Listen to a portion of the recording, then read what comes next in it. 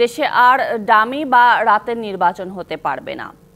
ষড়যন্ত্র রুখতে হলে জনগণের ভোটের অধিকার নিশ্চিত করতে হবে, এ কথা বলেছেন বিএনপির ভারপ্রাপ্ত চেয়ারম্যান তারেক রহমান।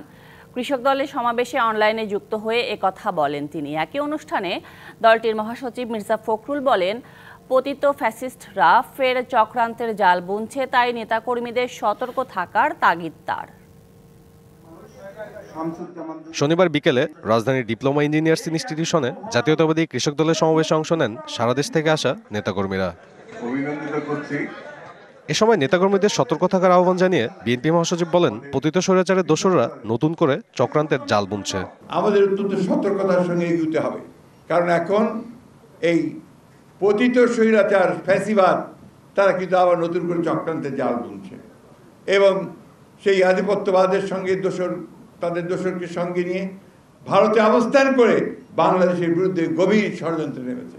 ভার্চুয়ালি যোগ দিয়ে বিএনপির ভারপ্রাপ্ত চেয়ারম্যান তারেক রহমান বলেন সুষ্ঠু নিরপেক্ষ নির্বাচনের ক্ষেত্রে কোনো ছাড় নয় জনগণের ভোটাধিকারের সাথে কোনো আপোষ নয়। আমার যাকে খুশি আমি তাকে ভোট দিব নিশ্চিন্তে নিরাপদে ভোট দিব। মাঠের অলরাউন্ডার আমি আর ঘরের all rounder Tylox Tylox toilet cleaner clean মানেই টাইলক্স। এটার সাথে কোনো কম্প্রোমাইজ নাই। ভোট হতে হবে। ওই দামি নির্বাচন হতে পারবে না নিশিরাতের ভোট হতে পারবে না। দিনের আলোতে ভোট হতে হবে যাকে খুশি তাকে ভোট দেওয়ার স্বাধীনতা থাকতে হবে নিরাপদে ভোট দেওয়ার স্বাধীনতা থাকতে হবে। ষড়যন্ত্র যদি রুখতে হয় তাহলে অবশ্যই ভোটের স্বাধীনতা নিশ্চিত করতে হবে।